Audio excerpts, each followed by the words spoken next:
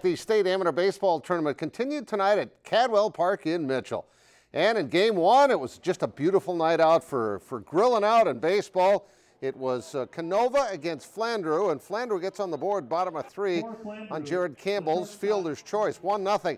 Let's fast forward to the ninth inning where it's one to one. Runner on third, Jared Miller, sac fly to left, and Justin Miller just safe at home. It's two to one, but they would add on to that. Garrett Gassman, yikes, he clobbers this. There were five Gassmans on Canova, two Gassmans on Flandreau tonight.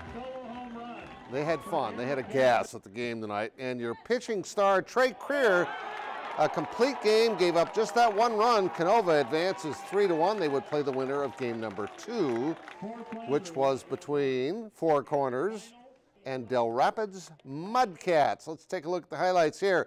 Top of two, Four Corners takes the early lead. Chris Dozark with the RBI single.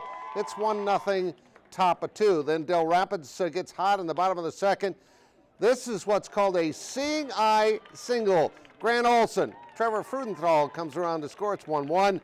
Still bottom of two. This is a big play. It's a line drive single by Josh Roman. Two runs would have scored, but oops, bad hop. Goes all the way to the wall. Three runs score. They get six runs in the inning. Let's go to your scoreboard. It's now 14 to 6 in the eighth inning. So it looks like Canova and the Mudcats will play on Friday night.